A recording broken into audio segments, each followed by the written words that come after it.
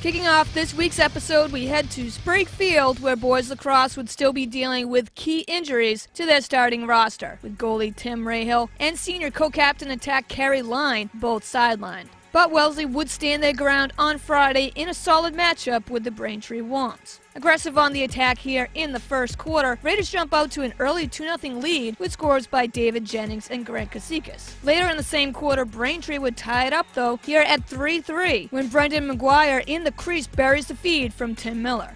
But with only one second left on the clock, Griffin Morgan's laser shot finds all net, giving Wellesley a 4-3 edge going into the second frame. Coming out of a tight 6-5 halftime lead, Wellesley looks to pull away from the Wamps, and Carter Huff's quick stick goal helps spark a key Raiders run here in the second half. And as the Raiders keep scoring, Griffin Morgan's third goal on the day here would propel Wellesley to an even more commanding 10-5 lead, as a key offensive third quarter would be all the Raiders needed to pull out a hard-earned gritty win. Fourth and final frame comes and goes here with only one more score by the Wamps coming from Johnny Cleggett. And the final whistle blows and the Raiders are the ones on top. 11-6 is the final over Braintree as Wellesley goes to 6-6 on the season. Already punching in two wins in their first three games of the season, girls softball had a key Herget Division matchup with the Rebels of Walpole on Saturday afternoon. Top first, Walpole strikes first, with runners on second and third. Maddie Oster's force out would drive in the first run of the game, giving Rebels an early 1-0 advantage. But that lead would not last very long, as Wellesley bats for the first time here in the bottom first, and quickly taking advantage of starting pitcher Julia Adams' control problems. Its bases loaded with Raiders and only one out.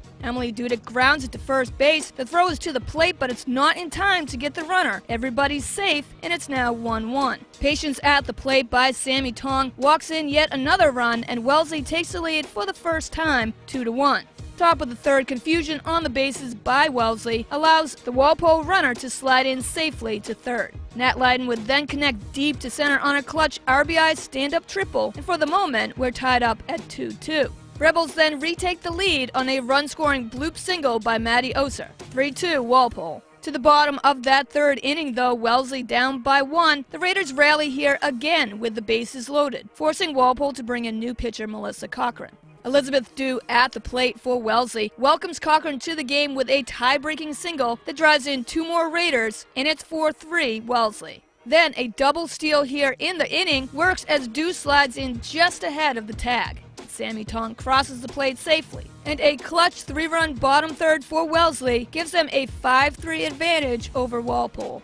Solid defense on the diamond by the Raiders and some outstanding pitching once again by sophomore Julia Pearl help silence Walpole's bats the rest of the way. And the Raiders, down by three runs early in the game, fight hard for the comeback and make it a final here at Lee Field. Wellesley 5, Walpole 3.